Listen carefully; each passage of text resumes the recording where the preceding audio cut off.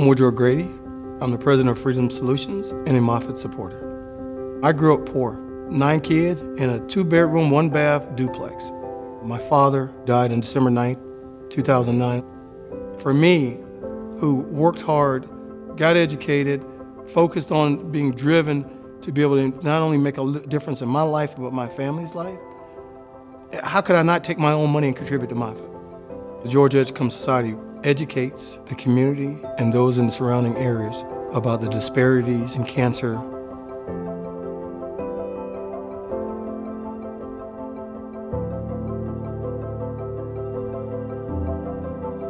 Cancer knows no color, no race, no anything. Why can't we take a moment in time to do something that could change lives? Every nickel, every penny adds up. There's always something we can do.